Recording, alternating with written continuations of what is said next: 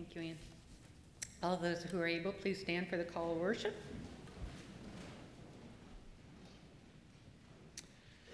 God of life, touch our eyes, open our ears, enter our hearts. Come, O God of life and breath and wholeness. Now, show us the way to new life and grant us the courage to be people of your way.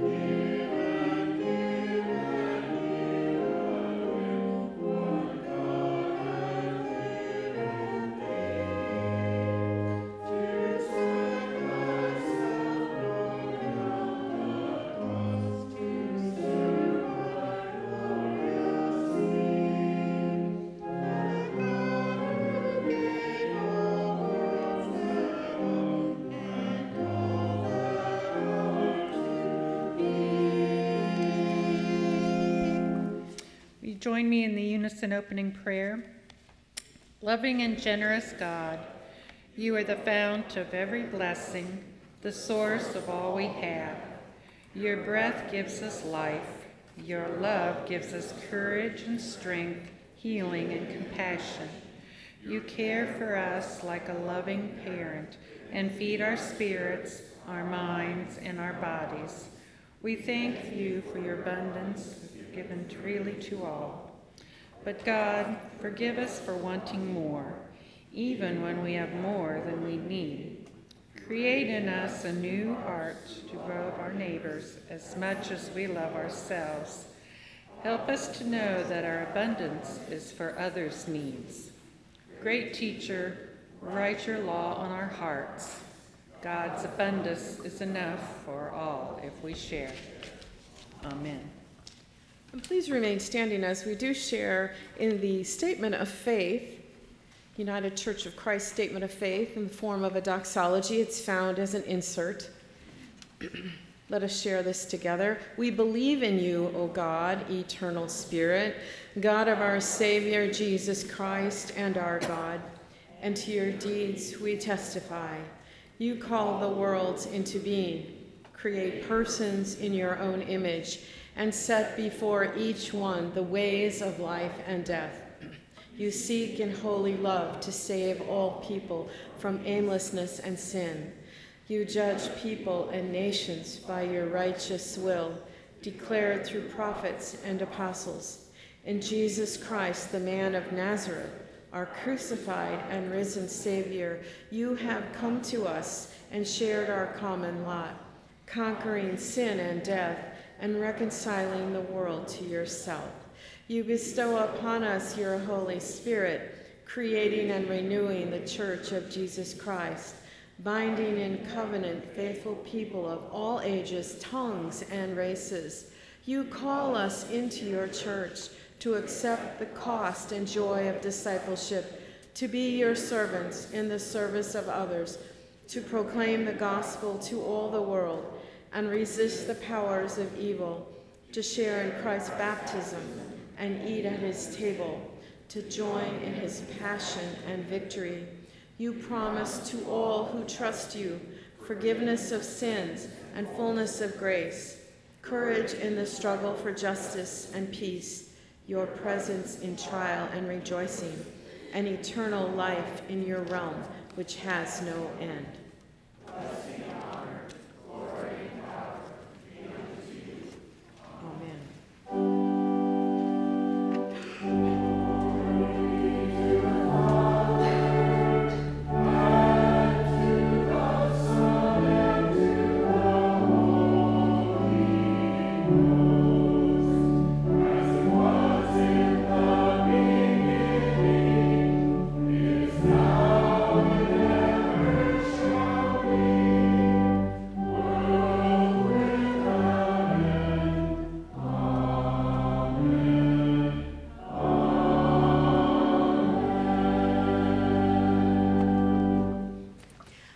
May be seated, and I invite all the children to come forward.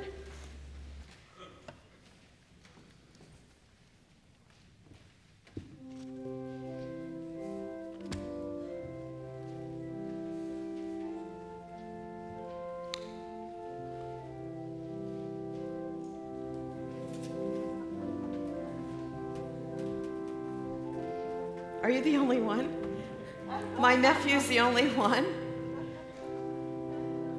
Much do I owe you for that? Come on, go ahead sit down.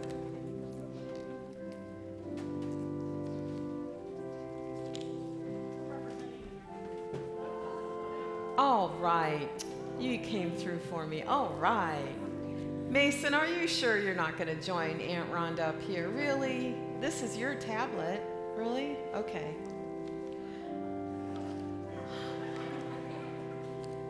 All right. Well, you all went back to school this, except for you. He starts school Wednesday. Did you guys all go back to school this week? Yeah, so you're really busy. Is your calendar like our church calendar that we just got in the in the newsletter, very full with all sorts of activities? Tell me what some of the activities are that you're busy with. Band, anybody in band? Okay. Anybody in sports? Cross country. Cross, cross country? Volleyball. Volleyball.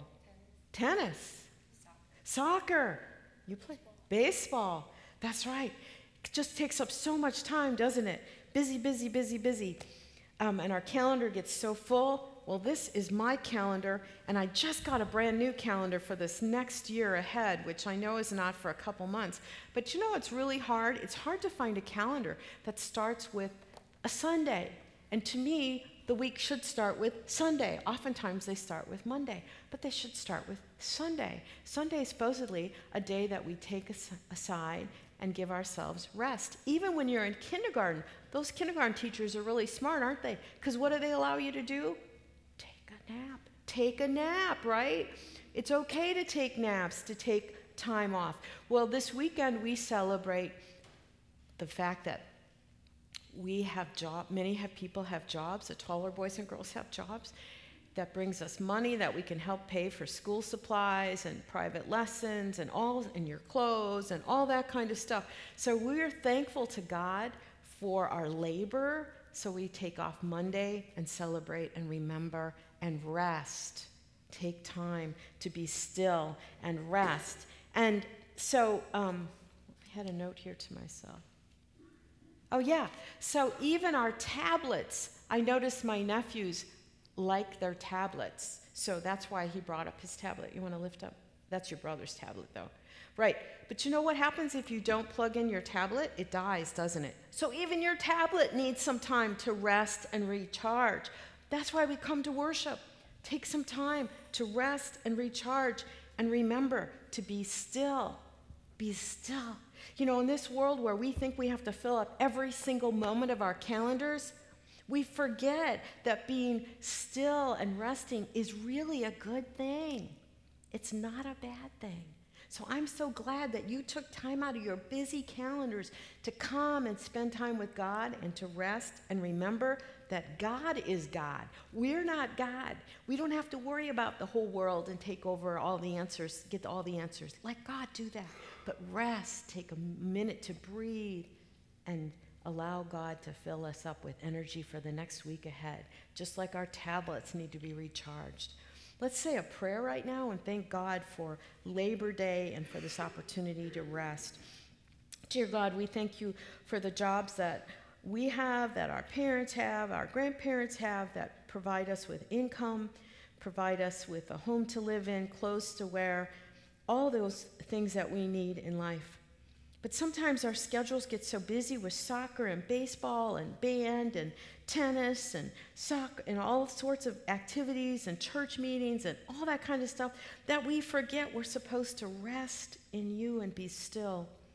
So as we celebrate Labor Day tomorrow, we have a day off of school, perhaps a day off of work. Let's remember that every Sunday is to be a day of rest. So, not only once a year when we celebrate Labor Day, but also Sunday, a day to come and re- get recharged for the week ahead. We thank you, God, that our week starts with Sunday, not Monday, but Sunday, as we focus on you and remember to be still and know that you, not us, but you are God. Thank you. Amen. All right. So now we invite people to do what? Pass the peace. Okay? So on the count of three one, two, three. May the peace of Christ be with you.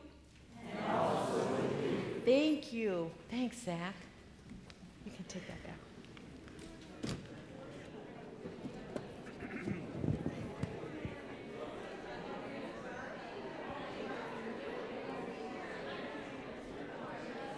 Morning.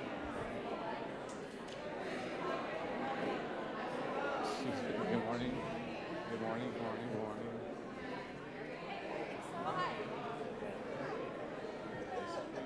Oh, thank you. Okay, cool. Okay. That's cool. Okay, cool. Good deal. How are you? Good. I actually, I've got one. Now, wait, you're going to senior? Yeah, I'm still teaching right now. Oh, you are? Yeah. I got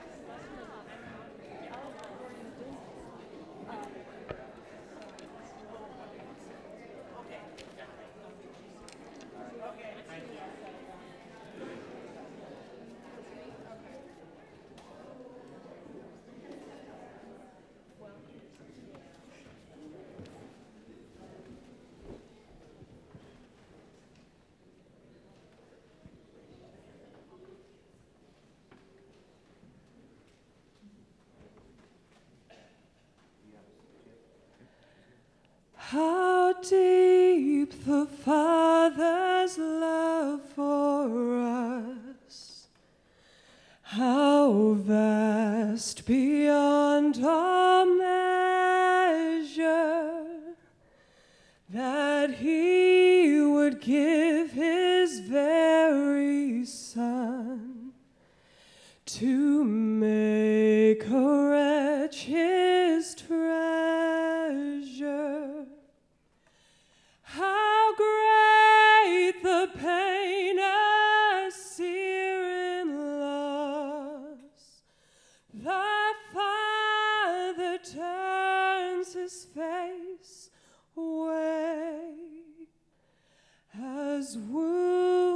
wounds that the chosen one bring many of us to glory. Now behold the man upon the cross, my sin upon his shoulders. With tears I hear my mocking voice call out among the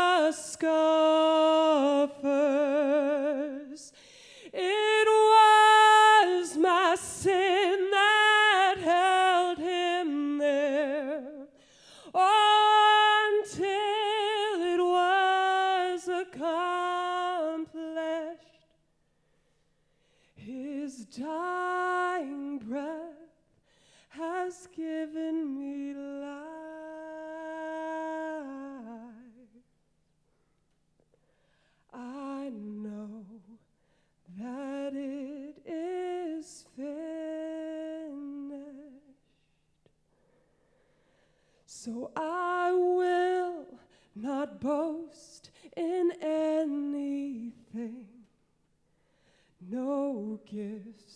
Nor power,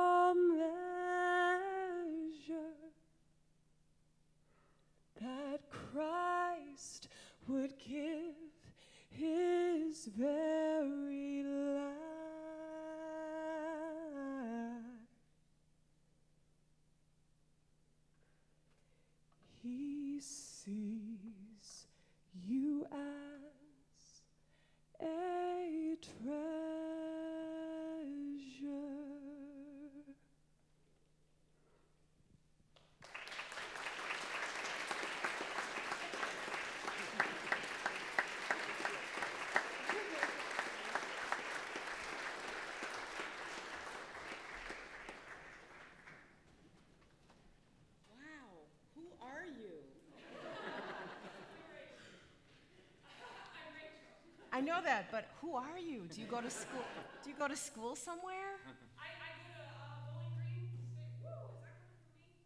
That would be that? I turned it off. Okay. Uh, I go to school at Bowling Green State University, BGSU. And you're a music major, I would imagine, vocal? I did fly across the street. Yeah, I had the right to vote right here.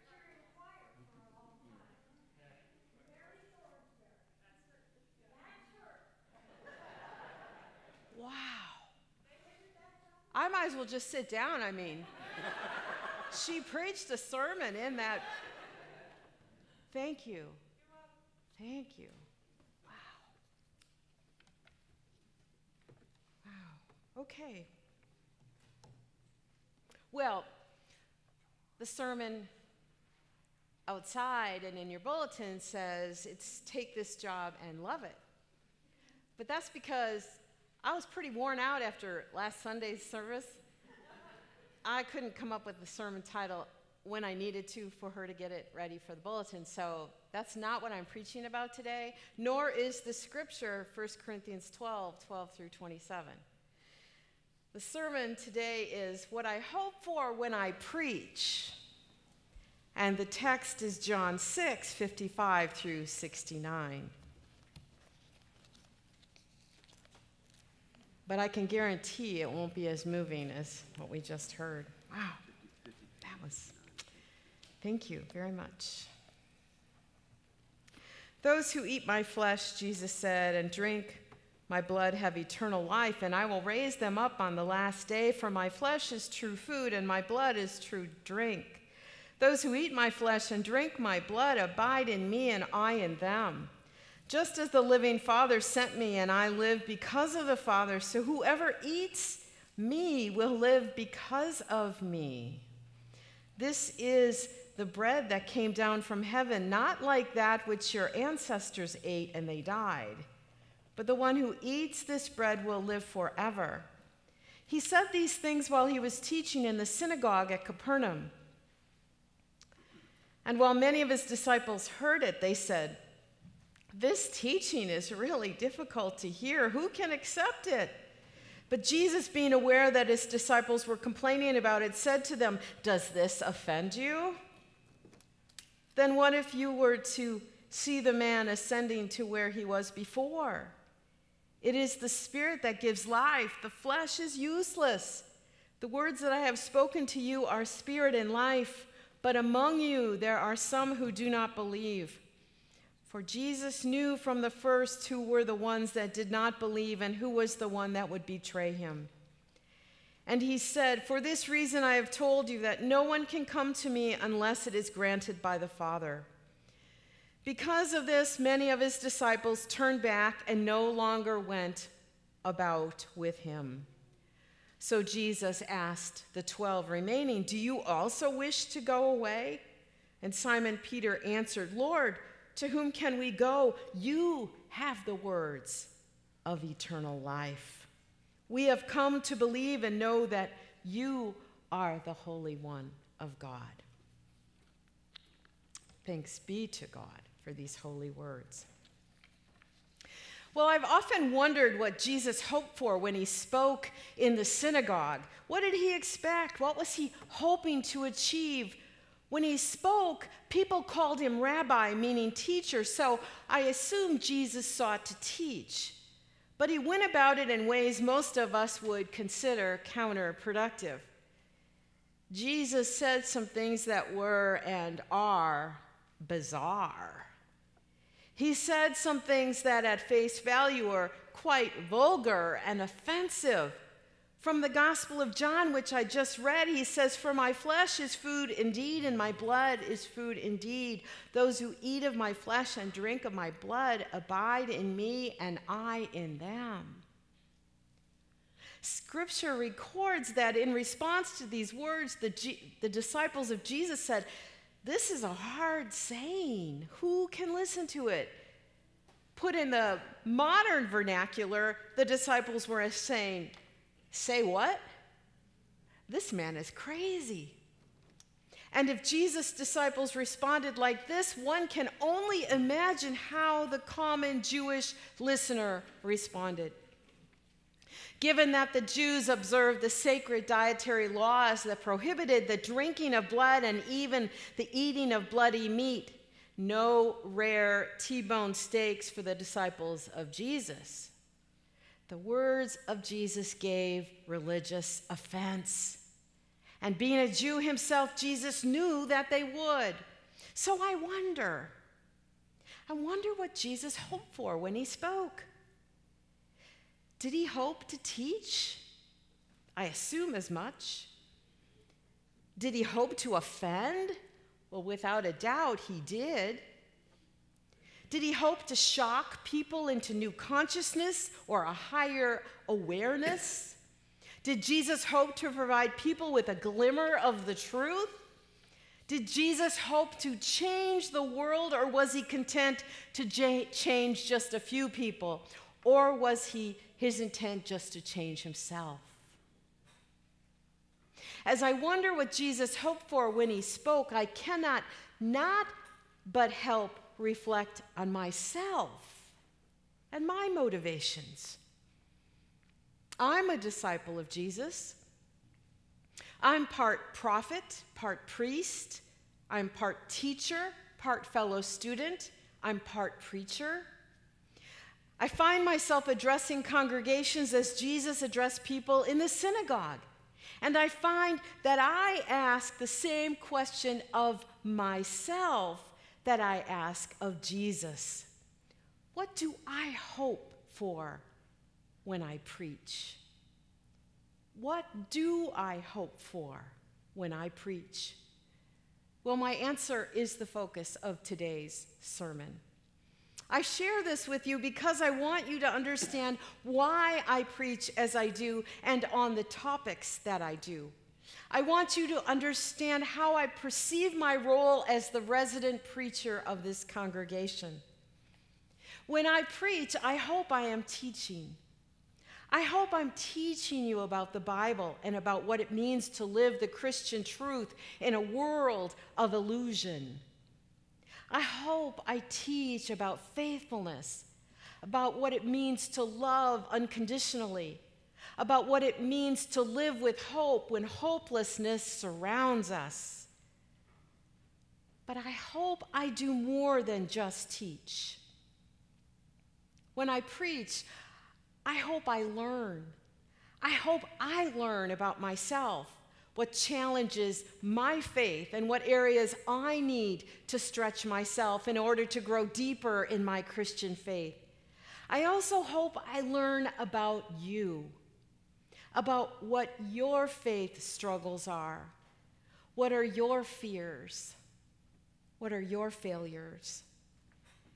And what might I offer to you to enable you to grow deeper in your faith as well, such that you can proclaim social justice and personal piety in your daily living? When I preach, I hope I am motivating you to action. Christianity is so much more than just knowing and believing the gospel message. Christianity is living the gospel message. But I hope I do more than just persuade you to live better lives. When I preach, I hope I'm bringing you God's embracing love. Preaching is primarily an act of worship and the nurturing of sacred relationships. And when I preach, it is my primary hope that we not only learn about God and that we respond by living God like lives, but that we become as intimate with God as God is with us. However, I am very realistic about the power of preaching. While for the most part, people, if they are not asleep, will actually listen to a preacher's sermon. However, as much as most people will listen to the sermon, they will not remember the sermon. Regardless whether the sermon is good or bad, and on any given Sunday, the odds may be 50 50. Four out of five people will not remember the content and the sermon of the sermon past Monday morning, maybe Tuesday at the latest.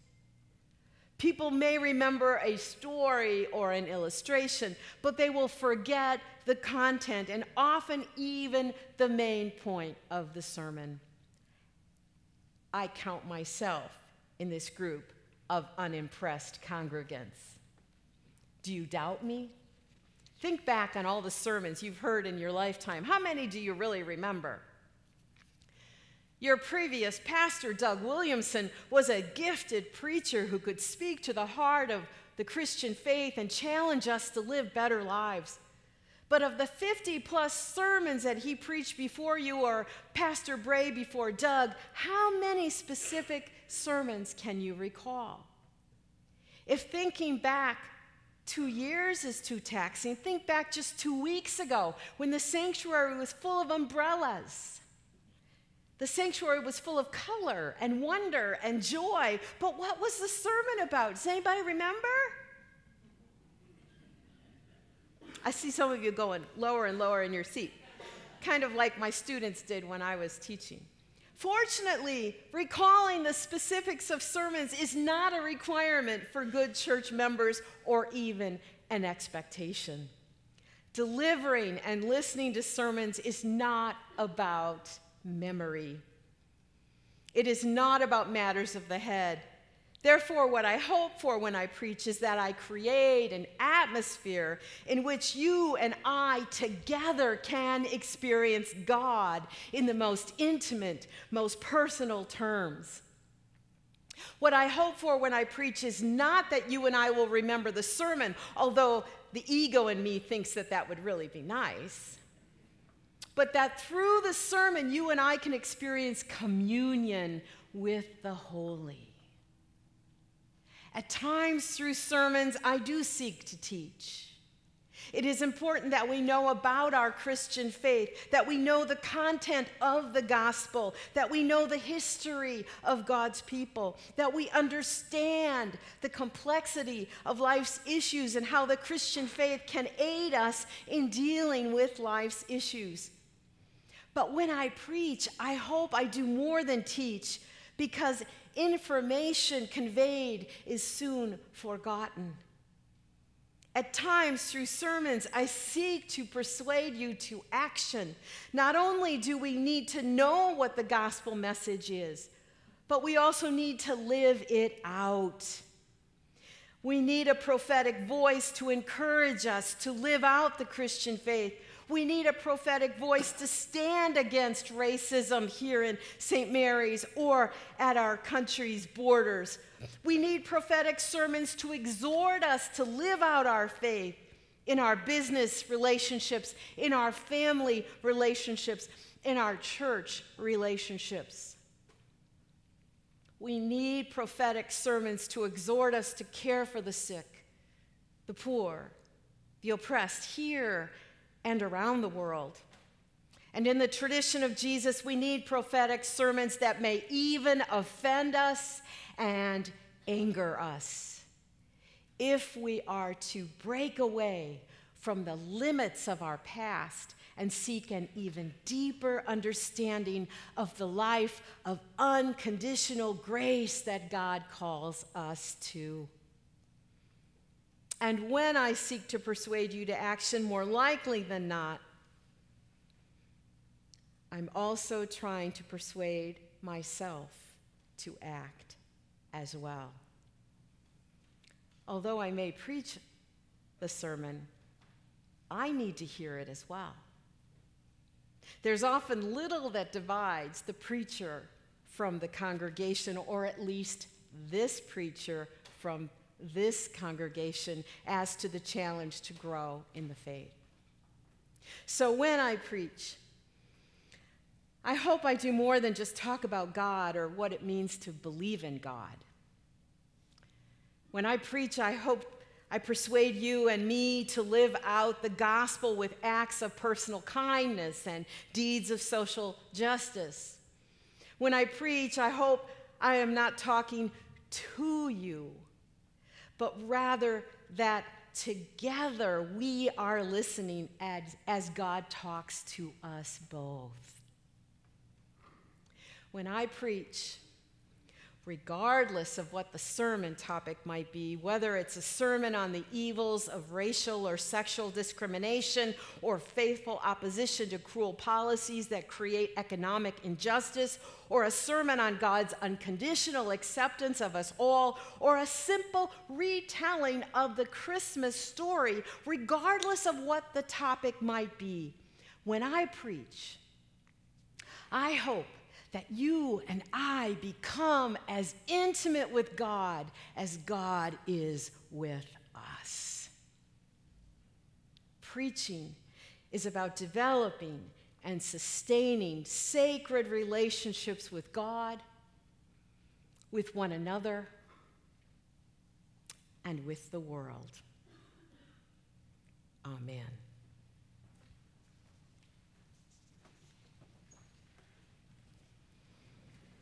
I invite you to turn with me to the insert and stand and sing We Would Be Building.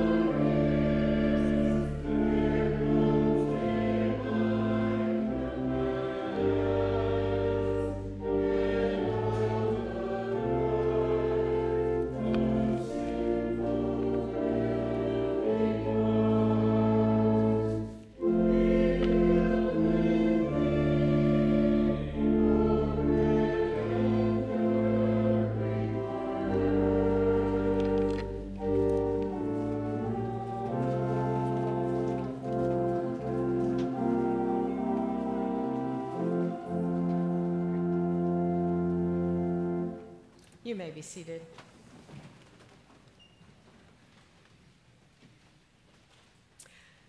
Uh, let's see, Carol, where are you? Carol, Carol, you want to, Carol Schmidt. Carol Schmidt gave me an update on Lynn. Lynn is home, recovering from his hips, uh, from his foot surgery, and he's not going to be with us out and about too much for the next six weeks. So we're going to need some extra people to fill in the jobs that he has been doing as usher and um, all of that. And then our prayers continue for him, as well as for Bob, who leaves this afternoon at 3 o'clock to head to the Cleveland Clinic for your surgery on Tuesday. At what time? 10 o'clock Tuesday morning? 7.30 Tuesday morning. And you'll be at the Cleveland Clinic for about a week. Okay, are there other prayer concerns of the congregation that we would like to make sure we mention? Anybody? And of course, we're going to pause a moment to let the people think about the people of Texas, know that we're thinking of them and mourning for them as they cope with yet another horrific shooting. You probably saw that on the news this morning. So let's start our moments of prayer with some deep breaths and just focus on those prayer concerns we've lifted up and anything that may be on your heart before we begin the pastoral prayer. Let us pray.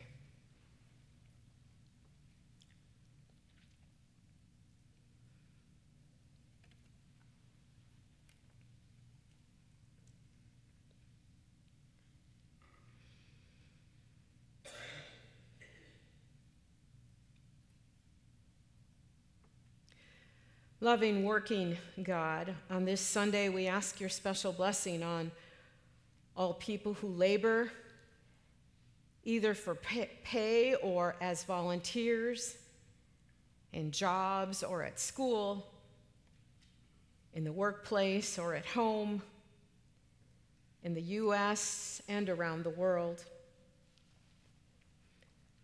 We especially pray for your blessings on workers who do not have jobs and for those whose inadequate pay does not allow them to live the full life you intend for each of us. Creator God, help us to build a new world in the midst of the old. A world where all workers are valued. A world where those who clean houses are also able to buy houses to live in. A world where those who grow food can also afford to eat their fill. A world where those who serve and care for others are themselves also served and cared for. We pray for the coming of a world where all workers everywhere share in the abundance that you have given us. And we ask these things knowing that you give us the courage and strength to live out our faith in the workplace and the marketplace, as well as in the sanctuary. God, be with those who are here today that have had or are facing surgery.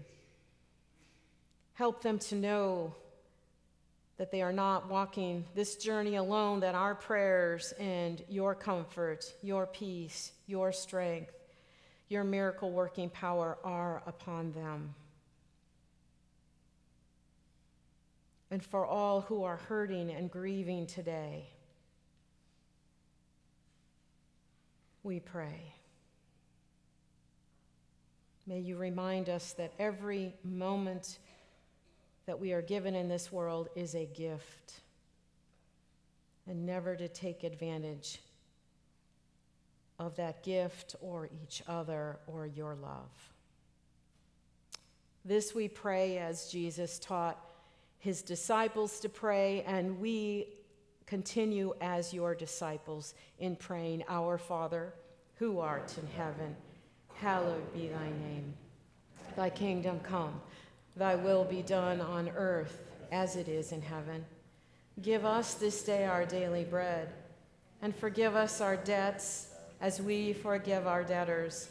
And lead us not into temptation, but deliver us from evil. For thine is the kingdom, and the power, and the glory forever. Amen. And now our ushers will wait upon us as we receive our morning tithes and offerings.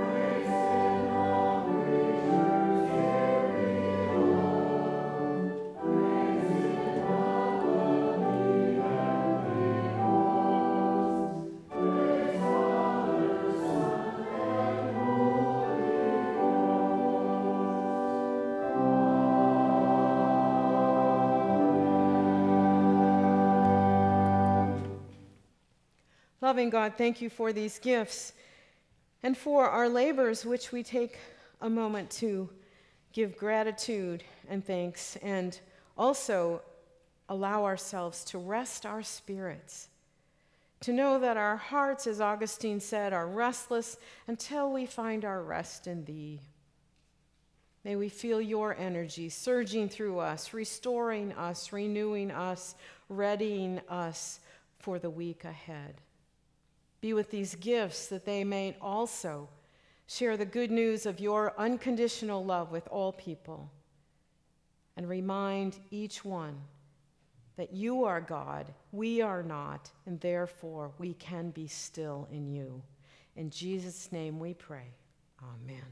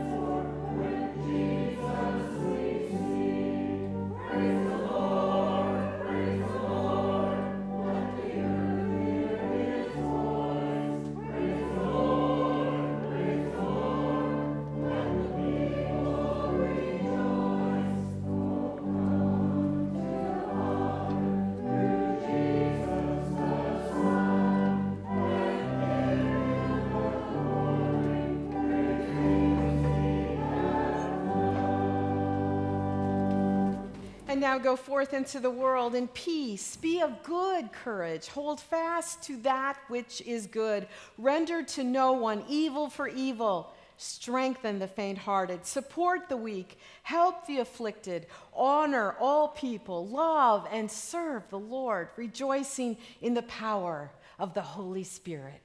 Amen. Amen.